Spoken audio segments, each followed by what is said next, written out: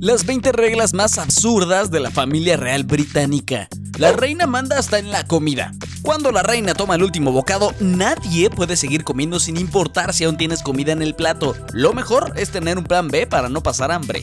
Vivir juntos. Si eres parte de la familia tendrás que vivir en una de las 775 habitaciones del Palacio de Buckingham, sin importar si no eres muy social o si alguien te cae mal.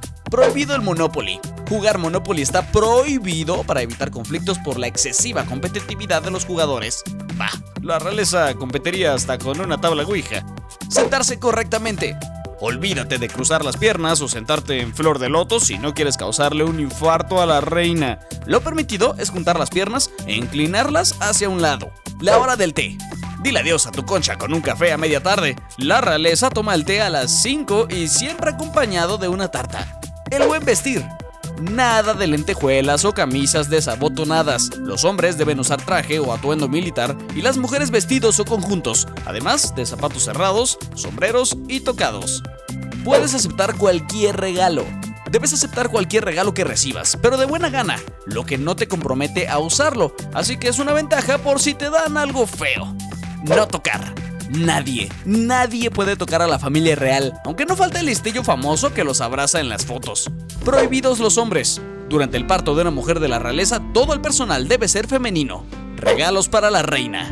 Nada de se me olvidó o lo traigo después. Siempre que se visita a la reina se debe llevar un regalo, de preferencia algo que sea artesanal. Listos para toda ocasión. En tu equipaje siempre debes llevar un outfit negro para estar listo para un fallecimiento inesperado. Ante todo, la etiqueta.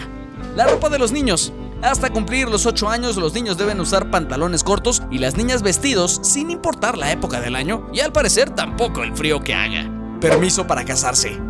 Si estás en la lista de personas destinadas a ocupar el trono, debes pedirle permiso a la reina para casarte. Si no lo haces, pierdes tu derecho al trono y si no está de acuerdo con tu boda, debes cancelarla. Nunca serás de la realeza. Si piensas que por casarte con un miembro de la familia real tienes derecho al trono, olvídalo. No naciste con sangre real, así que ni casado con la reina podrías ser rey. Infringir la ley. La reina puede romper cualquier ley por ser la soberana absoluta del Reino Unido. Por suerte, jamás ha tenido un comportamiento alocado porque sería imparable. La reina tiene permiso. Si vives en el Reino Unido, un buen día podrías llegar a casa y encontrar a la reina sentada en tu sofá y acariciando a tu gato, pues ella tiene permiso para entrar a cualquier hogar. Cuidar a los cuervos. Dice la leyenda que si la Torre de Londres pierde sus cuervos, la corona caerá y Gran Bretaña con ella. La regla exige un mínimo de 6 cuervos, pero siempre tienen más por mera precaución. Palabras prohibidas.